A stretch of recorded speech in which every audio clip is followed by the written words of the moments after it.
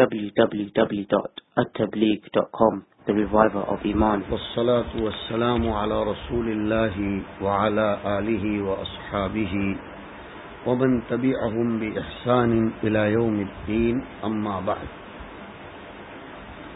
ایک حدیث شریف کے حوالے سے شرم و حیا کی تفاصیل اور جن اجزائے اربعہ سے مرکب ہو کر شرم و حیا کا تحقق اور اس کا استقمال انسان کر سکتا ہے، وہ اجزائے اربعہ، جن میں ایک تو یہ ہے کہ انسان اپنے سر اور اپنے سر کے مشمولات اپنا پیٹ اور اس کے اطراف و جوانب اور دنیا کی زینت کو ترک کرے اور اپنی موت کو اور پرانے ہو جانے کو یاد کرے۔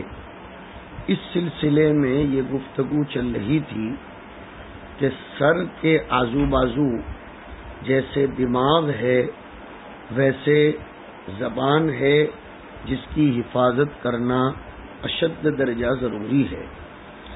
ایک موقع پر حضور صلی اللہ علیہ وسلم نے حضرت ابو ذر غفاری رضی اللہ تعالی عنہ کو خطاب کرتے ہوئے فرمایا کہ اے ابو ذر، کیا میں تمہیں ایسی دو عادتیں نہ بتاؤں جو پیٹھ پر ہلکی یعنی کرنے میں آسان اور میزان عمل میں بھاری ہے میں نے عرض کیا، ضرور بتائیں۔ تو آپ نے فرمایا، ایک تو ہے لمبی خاموشی اور دوسری ہے خوش اخلاقی۔ پھر آگے حضور نے فرمایا، قسم ہے اس ذات کی جس کے قبضے میں میری جان ہے۔ مخلوق نے ان دو عادتوں سے بڑھ کر کوئی عمل نہیں کیا۔ رواہ البحقی فی شعب الایمان۔ اسی طرح بحقی شریف میں ایک روایت آئی کہ انسان کا خاموشی کو اختیار کرنے کا مرتبہ ساٹھ سال کی عبادت سے بڑھ کر ہے۔ اور بخاری کی وہ روایت تو ہم نے کئی دفعہ سنی، بڑی مشہور ہے، لیکن خدا اس کو سمجھنے اور عمل کی توفیق دے کہ حضور نے فرمایا جو شخص مجھ سے اس چیز کی ضمانت لے لے کہ اس کے دو جبڑوں کے درمیان یعنی زبان اور اس کی شرمگاہ کی حفاظت کرے گا، تو میں اس کے لیے جنت کی ضمانت لیتا ہوں۔ ایک حدیث میں حضرت بلال ابن حارث رضی اللہ تعالی عنہ ارشاد نبوی نقل فرماتے ہیں کہ بے شک آدمی کوئی خیر کی بات زبان سے نکالتا ہے، مگر اس کے درجے کو نہیں جانتا کہ اللہ تعالی اس بات کے ذریعے اس کے لیے قیامت تک اپنی رضا کو لکھ دیتا ہے۔ اور آدمی کبھی اس کا الٹا کوئی بری بات کہتا ہے تو اس کے درجے کو بھی نہیں جانتا کہ اللہ تعالیٰ اس کی وجہ سے قیامت تک اس سے اپنی ناراضی فرما دیتا ہے۔ یہ ارشادات مبارکہ ہمیں بتاتے ہیں کہ زبان کی حفاظت کتنی زیادہ اہم اور ضروری چیز ہے۔ اس کو ملحوظ رکھے بغیر اللہ تعالی سے شرمانے کا حق ہرگز ادا نہیں ہو سکتا۔ زبان کے ذریعے جن گناہوں کو انسان کرتا ہے یا زبان جن معاشی کے کرنے کا ذریعہ بنتی ہے، وہ بے شمار ہیں۔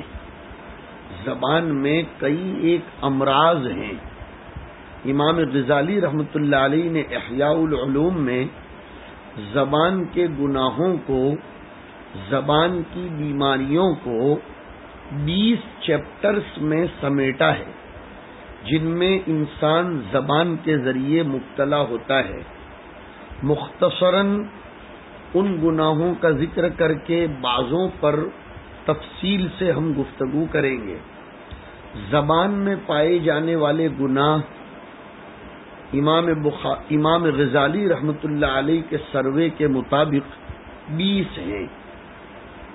بے ضرورت کلام کرنا، ضرورت سے زیادہ باتیں کرنا حرام چیزوں کا اپنی زبان سے تذکرے کرنا، مثلا فلم کی سٹوری فاسقوں کی مجلسوں کا ذکر وغیرہ، جھگڑا کرنا، دوسرے کی حقارت کی غرض سے شور مچانا، گالی گلوچ اور فحش کلامی کرنا، مٹھار مٹھار کر بات چیت کرنا، دوسرے پر لان تان کرنا ناجائز مذاق کرنا، گانا اور غلط اشعار پڑھنا، دوسرے کا استحضاء اور مذاق کرنا، کسی کے سیکریٹ کو اور راز کو فاش کرنا، جھوٹا وعدہ کرنا، جھوٹ بولنا، کسی کی پیٹھ پیچھے اس کی برائی کرنا،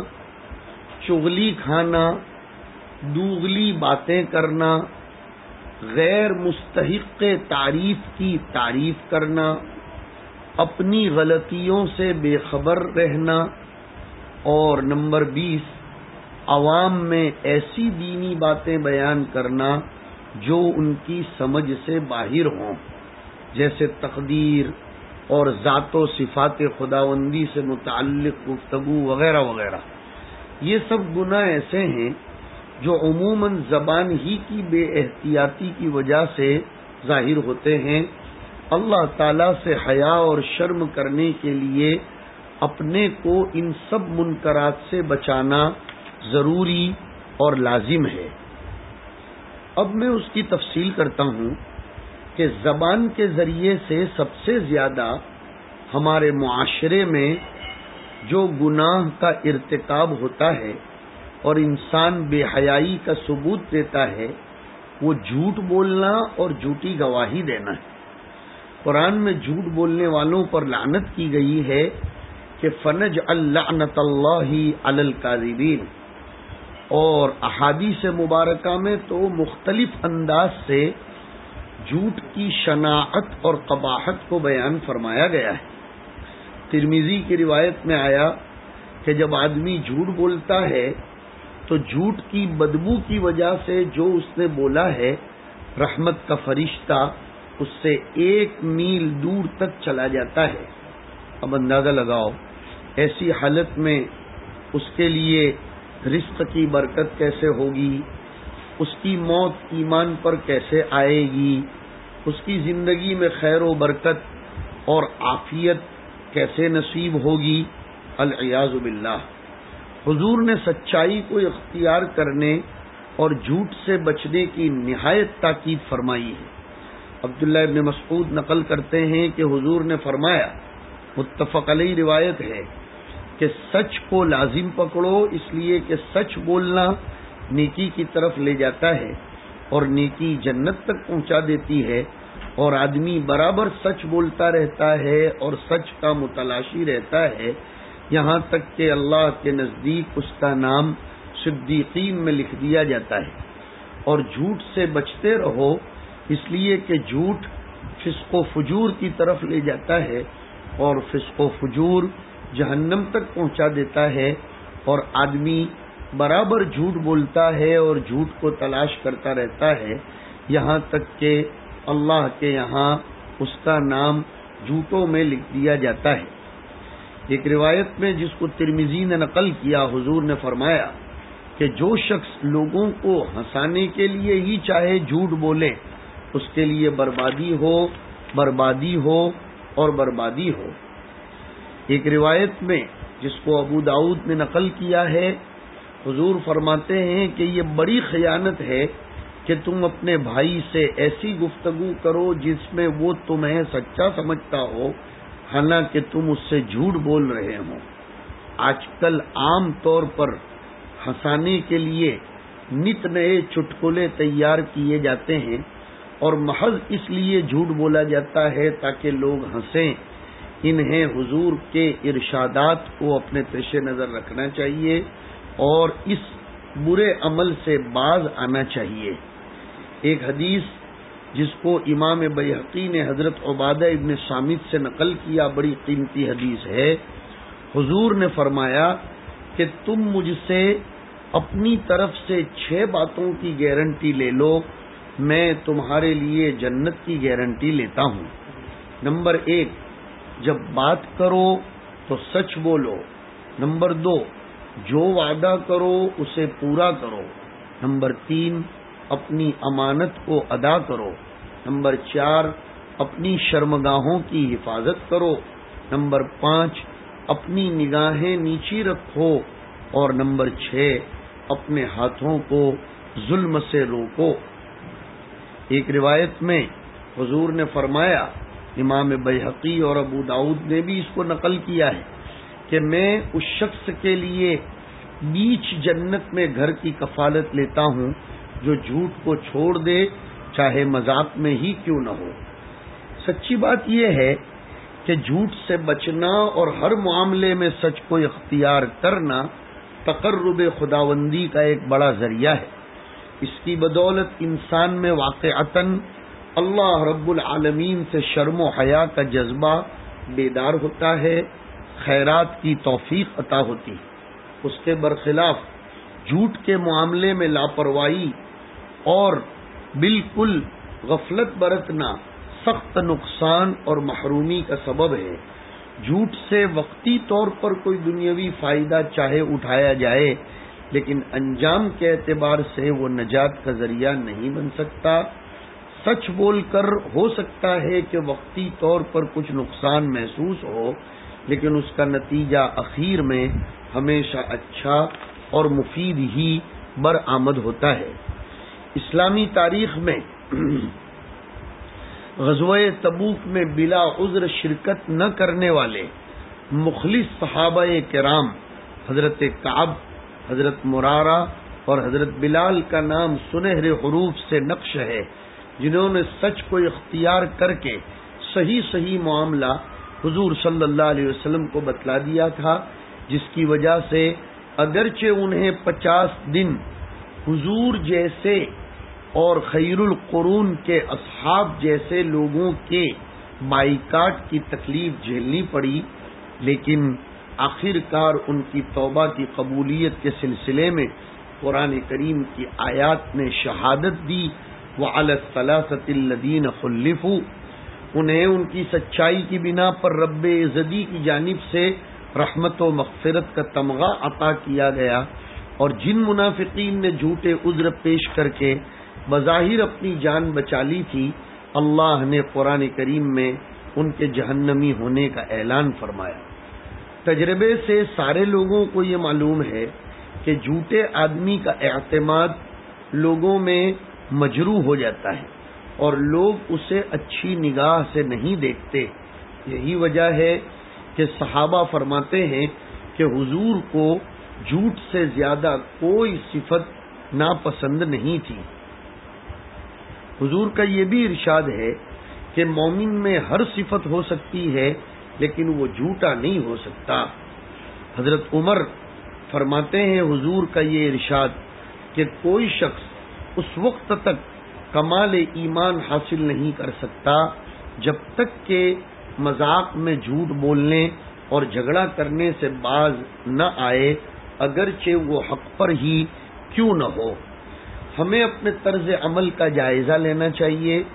جھوٹ کا معاملہ کتنا نازک ہے، اس کا اندازہ ابو داود کی ایک روایت سے ہوتا ہے کہ حضرت عبداللہ ابن عامر رضی اللہ تعالیٰ عنہ فرماتے ہیں کہ حضور ہمارے مکان میں تشریف فرماتے ہیں۔ بہت زیادہ توجہ سے یہ روایت سنیے کہ حضور ہمارے مکان میں تشریف فرما تھے میری والدہ نے میری جانب بند مٹھی بڑھا کر کہا یہاں آؤ، میں تمہیں دوں گی۔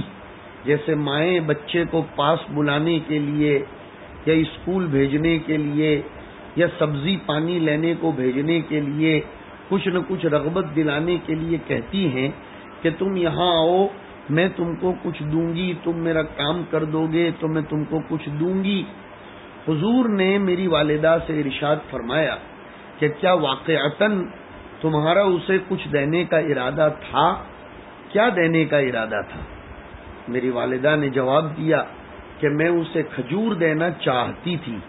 اب سنیے، حضور نے ارشاد فرمایا کہ اگر تم اسے کھجور نہ دیتی تو تمہارے نام اعمال میں ایک جھوٹ لکھ دیا جاتا۔ اس سے پتا چلا کہ بہت سی ایسی باتیں جنہیں ہمارے معاشرے میں جھوٹ نہیں سمجھا جاتا ان پر بھی جھوٹ کا گنا ہو جاتا ہے۔ بچوں کو جھوٹی تسلیاں دینا، جھوٹے وعدے کرنا عام طور پر ہر جگہ رائی ہے اور اسے جھوٹ سمجھا ہی نہیں جاتا۔ حالانکہ ارشاد نبوی کے مطابق یہ بھی جھوٹ میں داخل ہے۔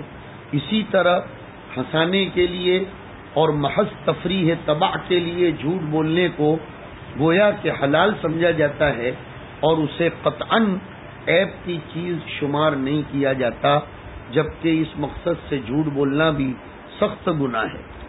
خرید و فروخت کے معاملے میں ہمارے دکاندار، تجارت پیشہ، بزنس مین، لاری چلانے والے وغیرہ لوگ بھی سنیں کہ خرید و فروخت کے معاملے میں بھی دل کھول کر جھوٹ بولا جاتا ہے اور قطعا اس کے گنا ہونے کا احساس نہیں کیا جاتا۔ تجارت کرنے والے کے پیش نظر بس یہ رہتا ہے کہ اس کی دکان کا مال بکنا چاہیے، چاہے جھوٹ بولنا پڑے۔ گاہکوں کو لبھانے کے لیے طرح طرح کے ہتھ کنڈے استعمال کیے جاتے ہیں۔ چند روزہ نفے کے لیے آخرت کی محرومی مول لی جاتی ہے۔ اسی لیے حضور نے فرمایا ترمیدی شریف کی روایت میں کہ اکثر تاجر قیامت کے دن فاجروں کی صف میں اٹھائے جائیں گے، سوائے ان تاجروں کے جو اللہ سے ڈرے اور نیکی کرے اور سچ بولے۔ حضور نے تو ایک مرتبہ صحابہ سے خطاب کرتے ہوئے فرمایا، تاجر ہی فاجر ہیں۔ صحابہ نے عرض کیا، اللہ کے رسول، کیا اللہ نے بیع کو اور تجارت کو حلال نہیں فرمایا؟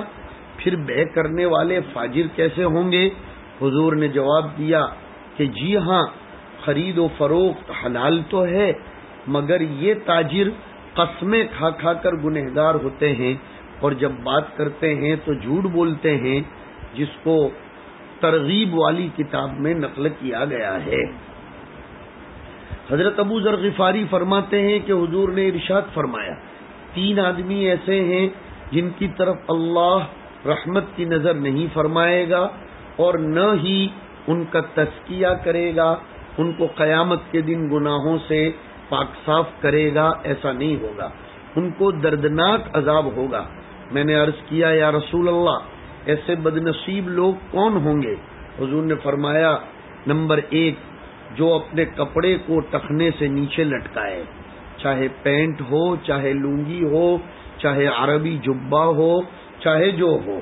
نمبر دو، جو صدقہ کر کے احسان جتائے۔ اور نمبر تین جو اپنے سامان کو جھوٹی قسم کے ذریعے فروخت کرے، رواہ مسلم۔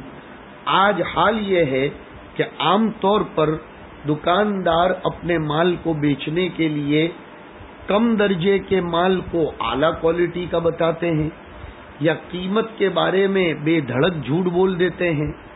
اور اگر گاہک کسی کمپنی کا سامان مانگے تو یہ نہیں کہتے، ہمارے پاس اس کمپنی کا مال نہیں ہے دوسری جگہ سے لے لو۔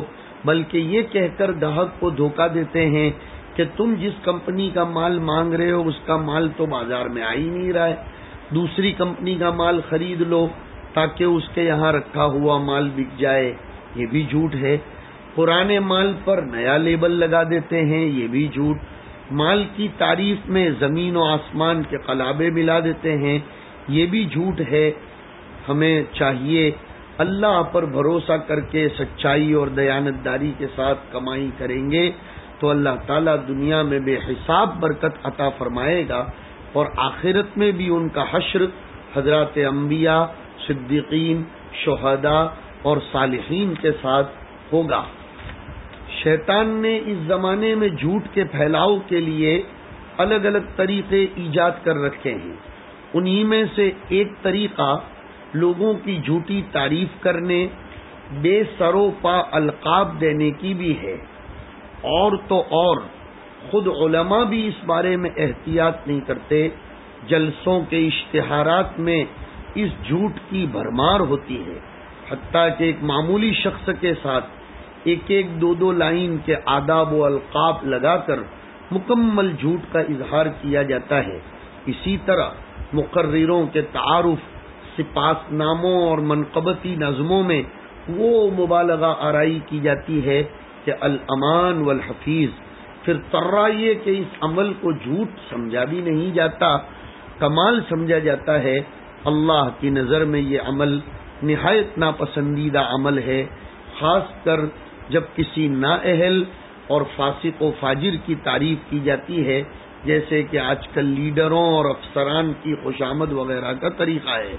تو اس گناہ کی وجہ سے عرش خداوندی تک کانپ اٹھتا ہے۔ مشکات شریف جلد نمبر دو میں حضرت انس کے حوالے سے ایک روایت آئی، جس کی طرف عام طور پر لوگوں کا دھیان نہیں جاتا۔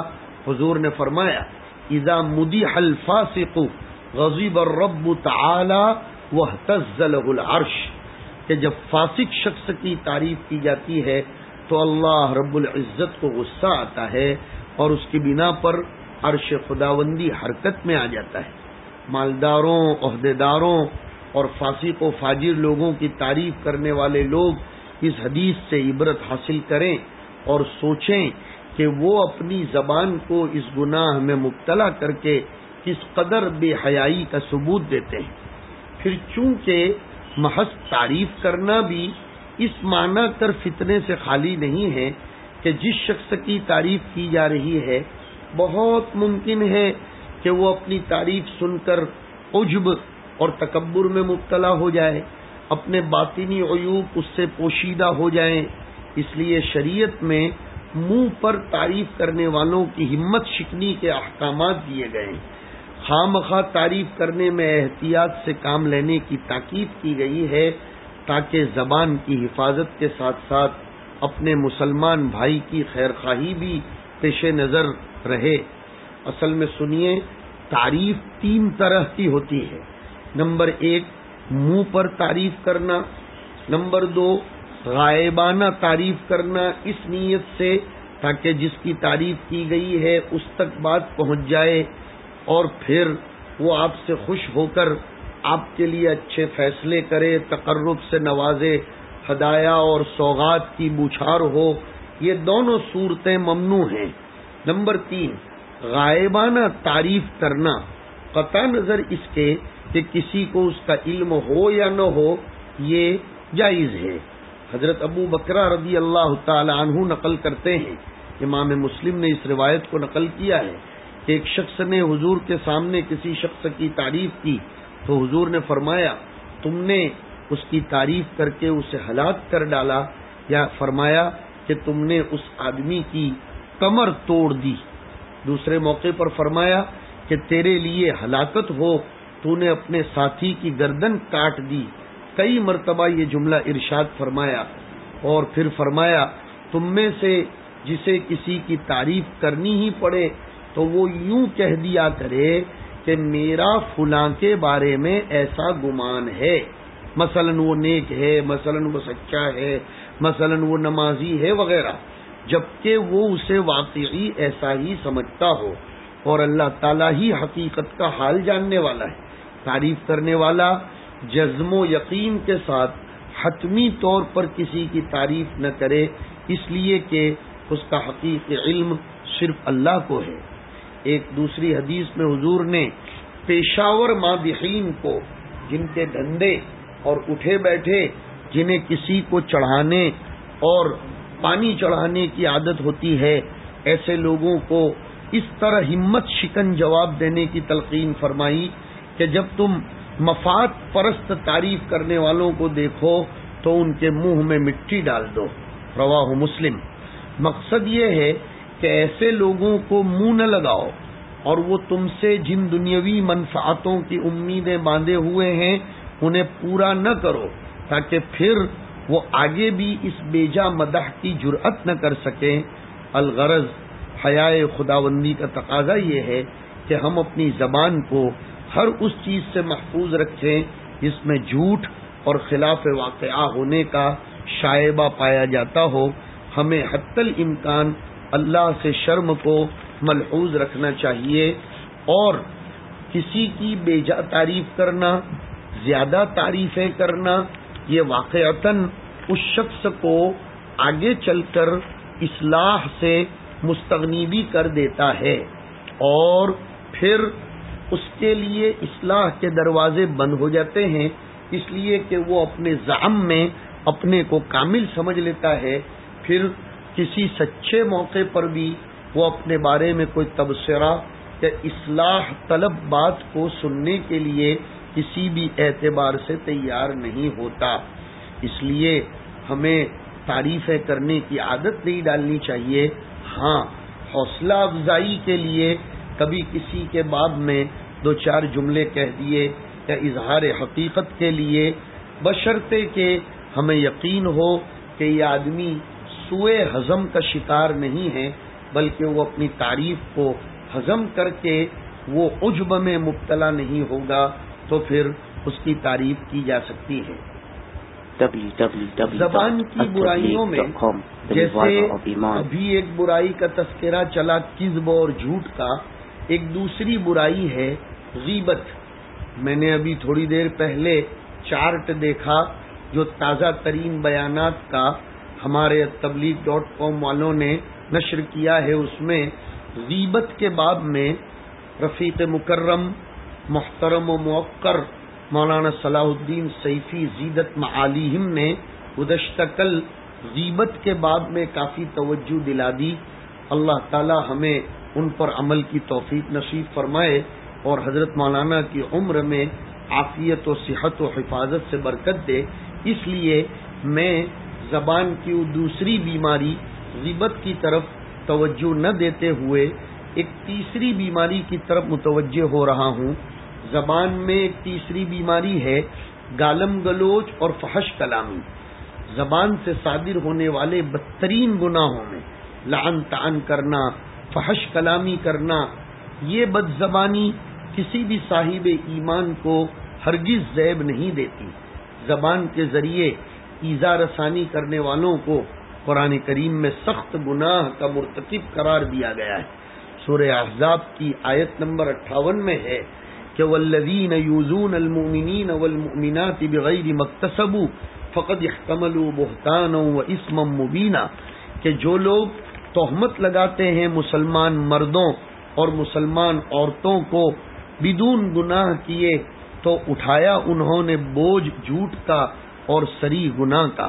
حضور نے بہت سی احادیث مبارکہ میں گالم گلوچ بد زبانی اور فحش کلامی کی سخت مذمت فرمائی۔ حضور کے بعض ارشادات ایسے ہیں۔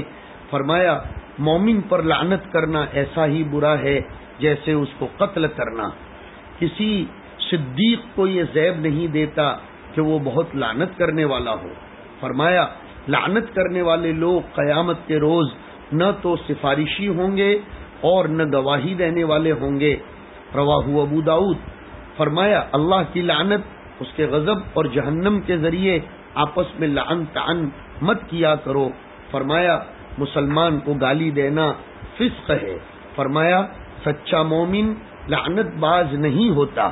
ایک روایت میں فرمایا، مومن کامل لعن تعن کرنے والا اور فحش اور بے حیائی کرنے والا نہیں ہوتا۔ اور اب خاص سنیے وہ لوگ جن کو زیادہ تر بد دعائیں دینے کی عادت ہوتی ہے، لعن تعن کرنے کی عادت ہوتی ہے۔ ابو داود کی روایت میں فرمایا کہ جب کوئی شخص کسی چیز پر لعنت کرتا ہے تو اس کی لعنت آسمان کی طرف جاتی ہے، وہاں اس کے لیے دروازے بند ہوتے ہیں، پھر زمین کی طرف اترتی ہے تو اس کے دروازوں کو بھی بند پاتی ہے، پھر دائیں بائیں جانے کا راستہ ڈھونڈتی ہے اور جب کوئی راستہ نہیں پاتی تو جس پر لعنت کی گئی ہے، اس شخص کی طرف آتی ہے۔ اگر وہ لعنت کا مستحق ہے تو لگ جاتی ہے ورنہ بڑا خطرناک جملہ، لعنت کرنے والے پر لوٹ جاتی ہے۔ یعنی لعنت کرنے والے کی لعنت خود اسی کے گلے پڑ جاتی ہے۔ کامل مسلمان وہ ہے جس کے ہاتھ اور زبان سے عام مسلمان محفوظ رہیں یہودی لوگ اپنی خباست باطنی کی بنا پر جب حضور کی خدمت میں آتے تو بجائے السلام علیکم کہنے کے السلام علیکم کہا کرتے تھے، جس کے معنی موت کے ہیں۔ حضور نے اس کے جواب میں وعلیکم کہہ کر خاموش ہو جانا پسند فرمایا۔ یعنی ان کی بد دعا انہی کے منہ پر مار دی جاتی۔ لیکن حضرت عائشہ کو یہودیوں کی حرکت پر سخت غصہ آتا اور وہ جواب کے ساتھ ساتھ ان پر لعنت بھیجتی اور اللہ کی غضب کی بد دعا دیتی تھی، اس پر حضور نے حضرت عائشہ کو یہ نصیحت فرمائی، جو بخاری شریف میں آیا محلن یا عائشہ علی کی بر رفق و عیا کی ولعنفی والفحش۔ عائشہ ٹھہرو، نرمی اختیار کرو، سختی اور بد کلامی سے اپنے آپ کو بچاؤ۔ اس بد زبانی اور فحش کلامی سے انسان کا وقار خاک میں مل جاتا ہے۔ وہ معاشرے میں، اپنے شاگردوں میں، اپنے چھوٹوں میں بے وقار ہو جاتا ہے۔ چاہے وہ کتنا ہی باصلاحیت اور اونچے عہدے پر ہو، لیکن بد زبانی بات بات میں لان تان کرنا بد کلامی کرنا اس کی وجہ سے وہ لوگوں کی نظروں سے گر جاتا ہے۔ اس لیے اپنی عزت اور وقار کی حفاظت کے لیے بھی زبان پر کنٹرول کرنا، اسے بد کلامی سے محفوظ رکھنا ضروری ہے۔ آج جب ہم اپنے مسلم معاشرے کی طرف نظر اٹھاتے ہیں، تو یہ دیکھ کر سر شرم سے جھک جاتا ہے کہ ہمارے یہاں گالیاں لوگوں کا تکیہ کلام بن چکی ہے۔ نہایت فحش اور غلیظ کلمات زبانوں پر اس طرح چڑھے رہتے ہیں کہ ان کے نکلتے وقت ذرہ برابر ان کی قباحت کا احساس تک نہیں ہوتا اور یہ صرف بڑوں ہی کا حال نہیں، بلکہ سڑکوں پر کھیلتے، کودتے، بچے بھی گالیوں کے معاملے میں اپنے مربیوں کے کان کاٹتے نظر آتے ہیں۔ یہ نہایت تکلیف دہ صورت حال ہے۔ ہمارا یہ فرض ہے کہ ہم خود اپنے کو اسلامی رنگ میں رنگیں، زبان کی حفاظت کر کے اللہ تعالی سے شرم و حیا کا ثبوت دیں تاکہ ہمیں معاشرے میں باوقار مقام حاصل ہو سکے اور ہماری آنے والی نسلیں بھی باعزت طور پر زندگیاں گزار سکیں۔ خلاصہ یہ کہ ہماری زبان جھوٹ، غیبت چگلی فحش کلامی لعن تعن اور ہر اس گناہ سے محفوظ رہنی چاہیے، جن کا صدور زبان سے ممکن ہے۔ اسی صورت میں ہم ارشاد نبوی فلیحفظ الرأس وما وعا پر صحیح معنی میں عمل پیرا ہو سکتے ہیں۔ وصلی اللہ علی النبی الکریم برحمتی کا یا الرحمن